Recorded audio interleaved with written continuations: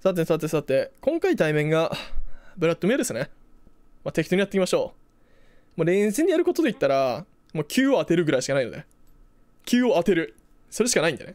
あと、6レベル以降は、まあ、キルできそうだったらね、9が当たった瞬間ウルトキャストしてください。それだけです。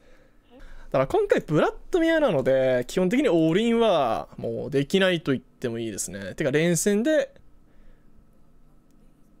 もう何もできないかな、ブラッドミー相手は。連戦において。フェーズラッシュなんでね、しかも。まあ、集団戦でなんとか頑張りましょうというとこ ろですね。それしかないです。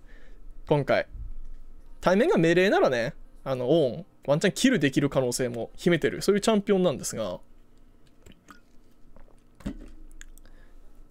対面レンジが来ちゃうとね、うーんって感じ。あまあ、ブラッドミはちょっと違うんですが、対面にレンジが来ても正直そんな問題ないです。なんでかっていうと集団戦がバカみたいに強いからですね。オンは。基本、トップに来るレンジのチャンピオンって、集団戦は弱いんですよね。クイーンとかね。ティーモとか。集団戦は弱いんですよ。で、CC もないしね。だから、まあ、その辺で差をつけれるので、レンでた、レンでね、多少負けたとしても、まあ、集団戦で、なんとかなるんじゃないかっていうメンタルでやっていきましょう。オンというか、タンク全般をね。さあ、初手はこう、はい。相手がレンジなので、ドランシールド。って、おいおい。で、まあ、それは置いといて、まあ、クラフトでいきましょう。で、今回対面がブラッド目なので、まあ、普通に Q 上げしていくんですが、対面が命令だったらね、またはタンクだったら、まあ、W 上げっていうのも十分ありだね。まあ、ただずっと Q 上げずっと W 上げって人も結構いるので、割と好みなのかなっていうところもあります。安定するのは Q 上げかなって感じだね。で、ブラッドミア対面で意識することは Q の2発目を食らわない。うん、それだけですね。それだけ。あ他はなないっす。正直、ブラッドミアに対してできることほぼないんで、まあ Q を打つぐらいですね。ただ結局ね、ブラッドミアもサスティンがあるので、あ、で、今回みたいなマッチアップの時は、アフターショックにするのもありでしたね。すいません。あの、完全に忘れてました。完全に忘れてましたけど、こういう悪撃が、まあ発動できないような相手の時は、集団戦を見据えて、アフターショックにするのもありだね。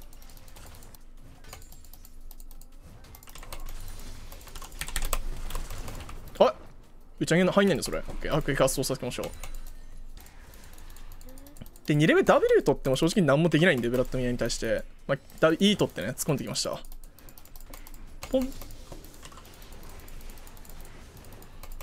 おらよし。ミッドだ、ミッドに多分切れてるよ。おい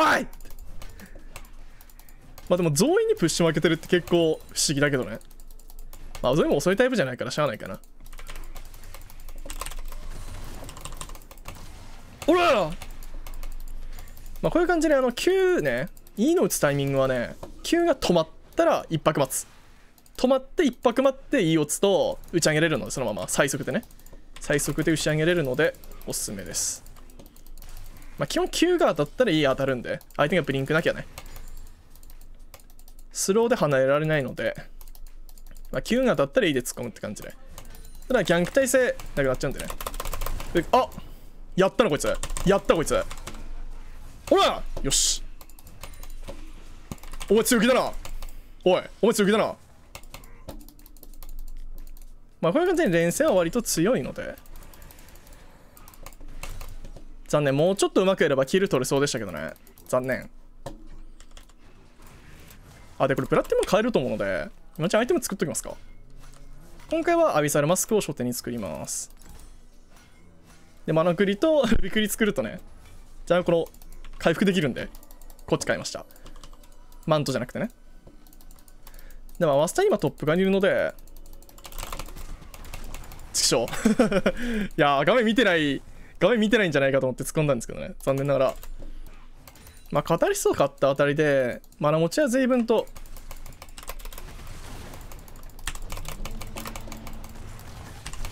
え、え、待って待って待って待って待って待って待って待って待って待って待って待って待って、今、え、嘘嘘嘘嘘。今絶対キルなんだけど、あいつフラッシュないから100%キルなんだけどね。とりあえず自分だろ、今ので。What the fuck? 今日そこ。当たんなかった。結構やばいかもね。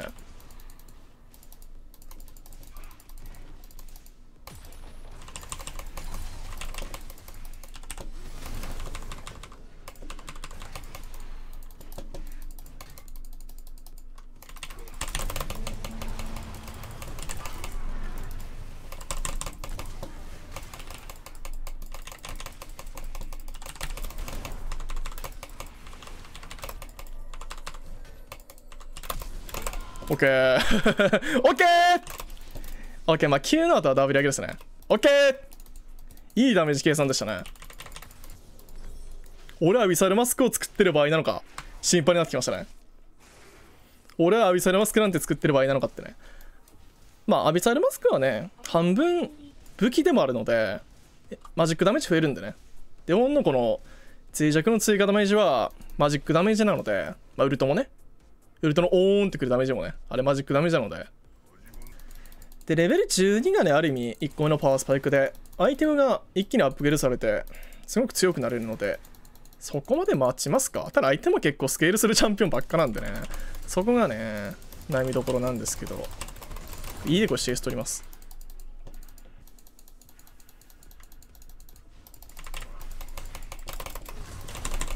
でこういう感じで最短であれば基本この E はかわせないのでブリンクがない限りは。やってみる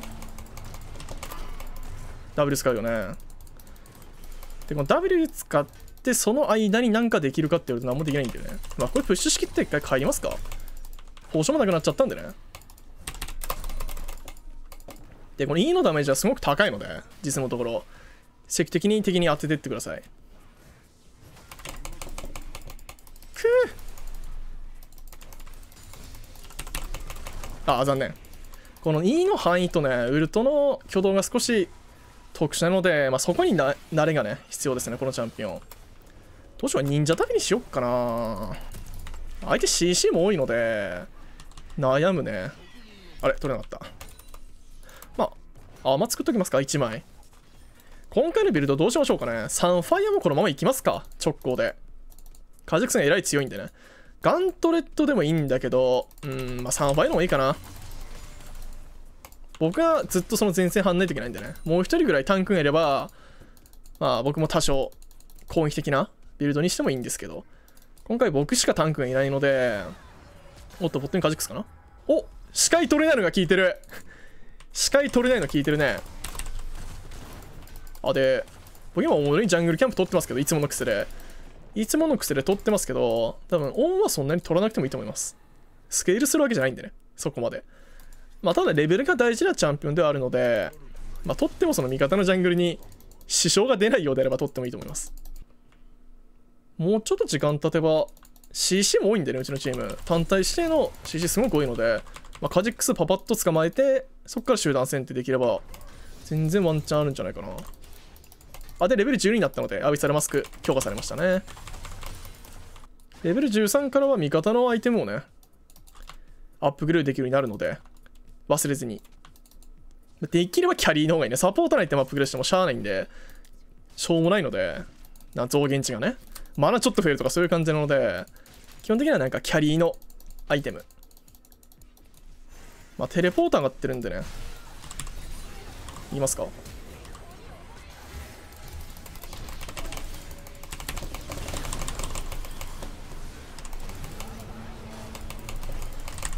やべ。スタンがすごい。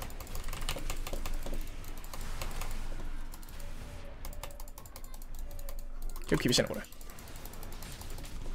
大丈夫か、それ。カジクソンできて死ぬそうなんだよな。何すると？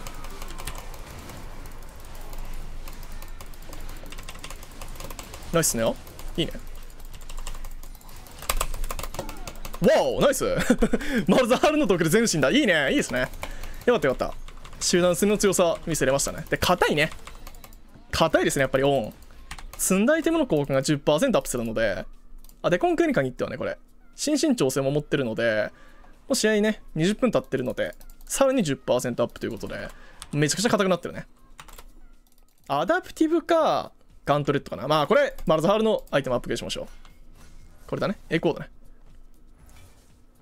で、オーンもね、買った順でアップグレードされますし、味方もね、味方のやつアップグレードしても、買った順にアップグレードされるので、で、次はアッシュかな？この次は。マスター E でもいいんだけど、どっちかな？どっちが活躍してるかによりますね。マスター E かな？これちょっとくれ。これちょっと欲しい。経験値。ウルトを使って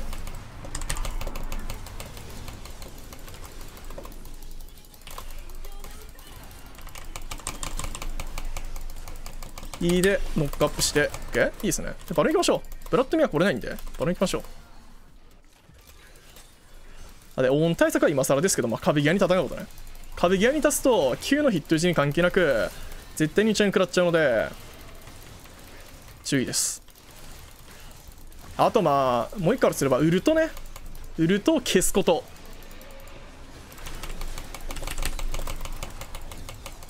ウルトの2発目撃たれる前にスタンか何かで重ねてしまえば2発目撃つことができなくなるんでね。そこを意識するのはすごい大事、まあ、何かしらの CC があるんであればレオナとかね。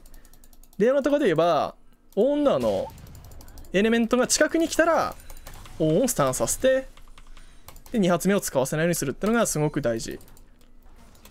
ああでそうそう。オンはねあの立場に今いくつかね本当状況によるから言ってなかったんだけどウルトの端端っこが当たるんであればこれねレンジめっちゃ長いんで実はウルト。これ。端っこが当たるんであれば敵にもう撃っちゃってもいいです。相手のキャリー。そいつ捕まえたら勝てるって時はやっちゃってもいいね。スロー当てさえすれば、まあ、ブリンク持ってない限り基本ウルト当たるんでね。あでもう一人ぐらいアイテムアップグレードできるんだけどアッシュしときましょうか。